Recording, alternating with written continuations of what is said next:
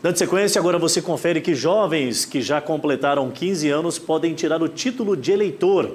A reportagem é da nossa queridíssima Dandara Amorim.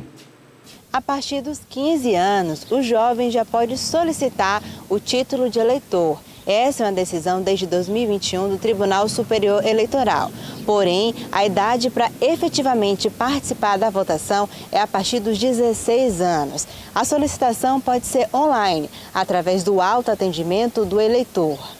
No sistema online Título NET, ao acessar o sistema, o jovem deve selecionar a opção Não Tenho na aba Título de Eleitor e preencher todos os campos indicados com dados pessoais, como nome completo, e-mail, número do registro geral RG e local de nascimento. Além dessas informações, é preciso anexar fotos ao requerimento para a comprovação da identidade.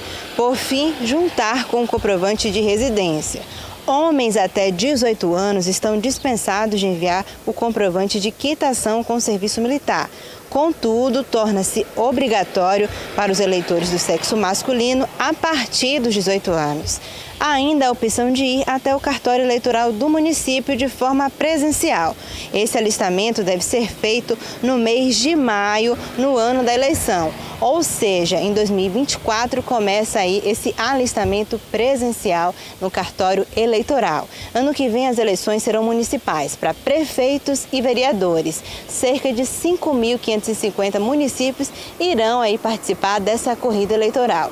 Depois de todo esse procedimento online ou presencial, o jovem pode acessar o título através do aplicativo e-título e lá ter as demais informações sobre a votação.